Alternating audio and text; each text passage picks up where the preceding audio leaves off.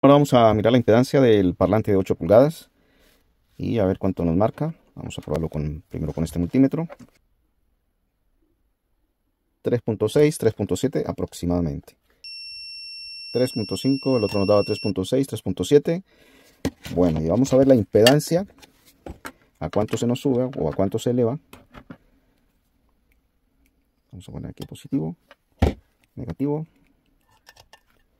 Y le vamos a dar aquí. 5.4 más o menos.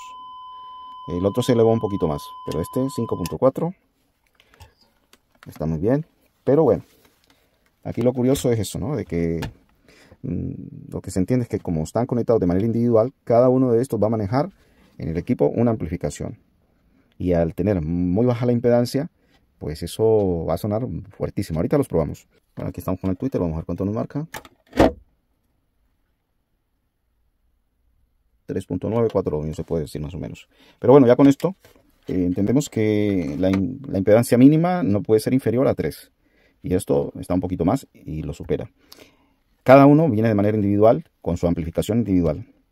Y al ser de tan bajita eh, impedancia, pues la corriente que le atraviesa es bastante y eso va a sonar fuertísimo.